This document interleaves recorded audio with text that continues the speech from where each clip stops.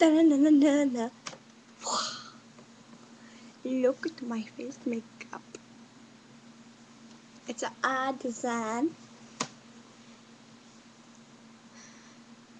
I went to the Maple, Maple Festival. Mm. Maple Lady stick. Um, yeah. I'm going in later tonight. The rides I went on were Tornado,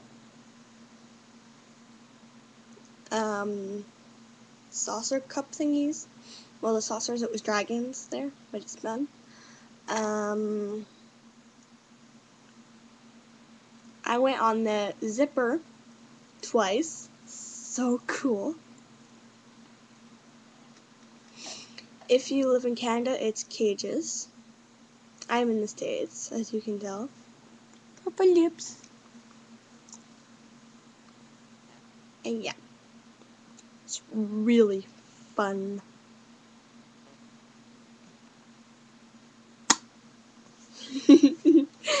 yeah, go later tonight.